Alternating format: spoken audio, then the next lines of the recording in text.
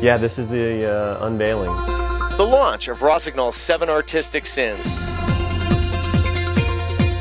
Seven prominent board culture artists from around the world have been given the opportunity to use their style and talent to create original artwork for each of the seven skis.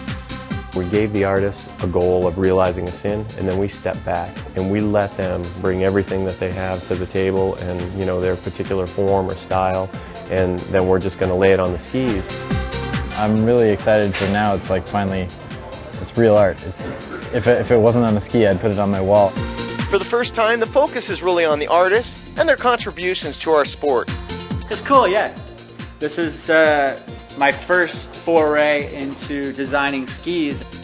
Legendary pro skater and artist Andy Howell realized his artistic talents early on.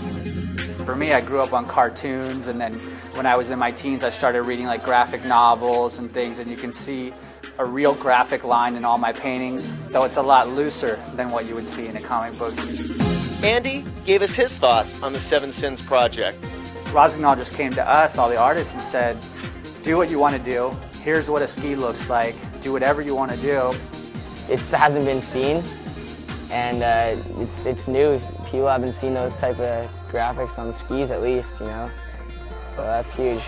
Gluttony was pretty easy for Steve Caballero because of his affinity for gas-guzzling hot rods. It, it can be gluttony when it comes to having too many cars. You know, there's a lot of people that are very overwhelmed with wanting and wanting more and more and more.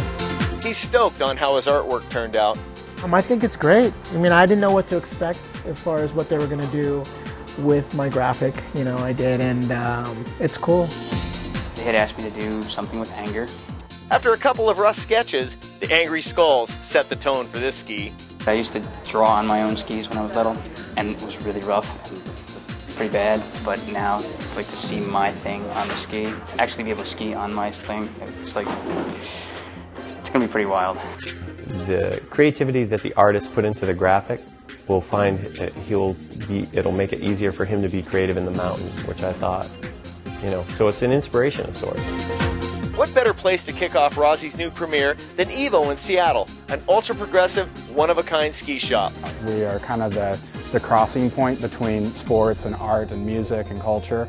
And it's very cool to see um, a manufacturer that we've worked with for a long time kind of take a step toward doing that same thing.